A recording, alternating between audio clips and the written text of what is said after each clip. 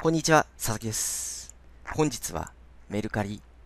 違反出店していないにもかかわらず、利用制限されました。理不尽な利用限度の理由を教えてください。というテーマについてお伝えします。それでは、早速行ってみましょう。はい。えーこの動画では、YouTube から質問が来ましたので、回答させていただきます。違反していないにもかかわらず利用制限されたとあるんですけど、これはですね、多分、誰かが文章真似たとかね、えーっと、まあ、以前トラブルとかで、出品トラブルとかで、あの、密告ですね、メルカリにこの人に嫌がらせを受けたっていうことで密告された可能性が高いんですね。それと悪い評価が多くないですか？えっと、悪い評価が多いと、メルカリの印象非常に悪いです。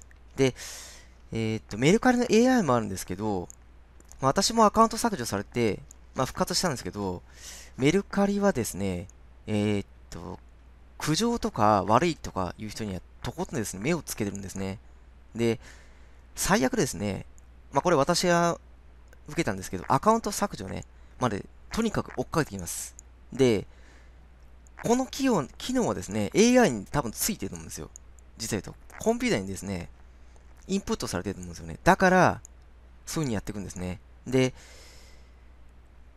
まあこれですね、もう回する方はただ一つなんですよ。とにかくおとなしくするしかないですね。そのメルカリとですね、トラブルだけは絶対に避けた方がいいですよ。それとですね、文章なんですけど、えっ、と、私はですね、あの、文章はですね、昔はですね、もうコピペだったんですね。今は考えてるんですけど、えっ、と、ここまでやれるとしたらですね、もうオリジナルの自分の文章を考えてやった方がいいですよね。とにかく。えーで、多分ですね、この質問された方のアンチの方って多分これいますよ、多分。あの、敵対関係というか、まあ悪いと。言葉悪く言っちゃうと敵対関係というかね。まあこれ気をつけたいですね。うん。で、まあ先ほど言ったんですけど、メルカリとトラブルを起こすとですね、もう完全に目つけられて一発でアカウント削除になっちゃうんで、そうするとね、あの、もうこれ作れなくはないんですけど、また作るのはですね、結構あの、面倒いんですよね。はい。まあスマホを変えた方がいいですよね。うん、電波で、あの、あ、電波で分かっちゃうんで、スマホとかね、まあクレジットカードとかいろいろ変えないといけないんで、まあ作れ、番号を作り直せば大丈夫なんですけど、スマホだけはどうしてもちょっと値段が高くなっちゃうんですよね。中古でもね、まあ、1万円ぐらいあるんですけど、やっぱり、ね、現行のモデル中古でまあ4万とか3万とかいっちゃうんでね、iPhone とかでもね。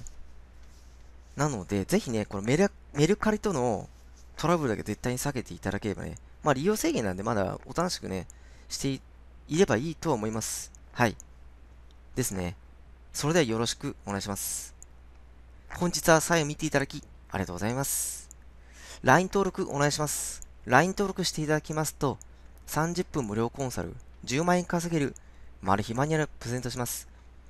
なぜ10万円稼げるか詳細に記載しています。ぜひ楽しみにしてください。登録した際にニックネームかスタンプお願いします。よろしくお願いします。本日は最後見ていただきありがとうございます。番組登録お待ちします。よろしくお願いします。